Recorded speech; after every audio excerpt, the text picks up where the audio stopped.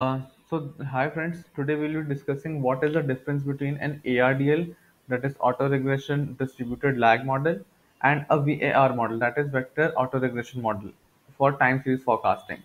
Uh, so if you have seen my previous videos for our ARDL and VR, VAR, you must have get an idea ki how both of these work out.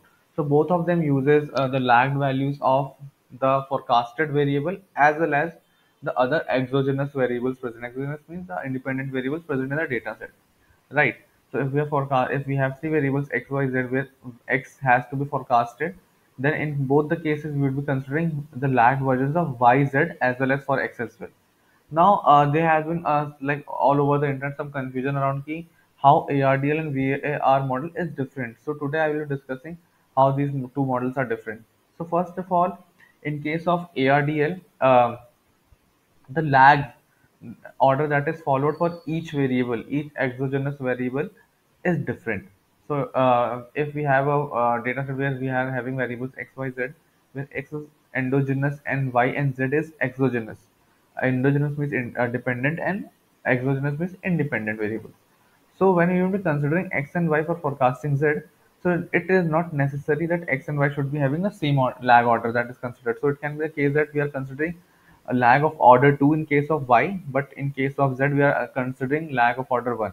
But in case of VAR, all the exogenous variables would be having the same lag order. So uh, if you remember in my last video, uh, VAR has just one hyperparameter to tune, that is the order uh, of the lags that to be considered now for each variable present, be it x itself or the other exogenous variables.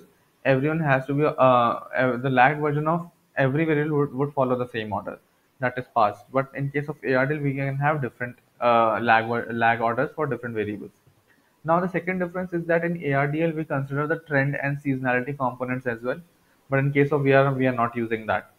Uh, now one last point uh, of discussion is uh, in case of ARDL we have just one single equation forecasting all the vari- uh, forecasting a particular variable. So for example, if we are if we have to forecast xt or xt plus 1 or xt plus 2 or xt plus 3 we'll be following the same equation while in case of var uh, as we are forecasting new variable a new value that is xt or xt plus 1 or xt plus 2 uh, the equation changes uh, so we will be having multiple equations for forecasting multiple values. But in case of ARDL, we will be having just one equation for forecasting a particular variable. Now, uh, when we say we will be having multiple equations, we will be having different equations. It means that uh, the coefficients that are getting used would change.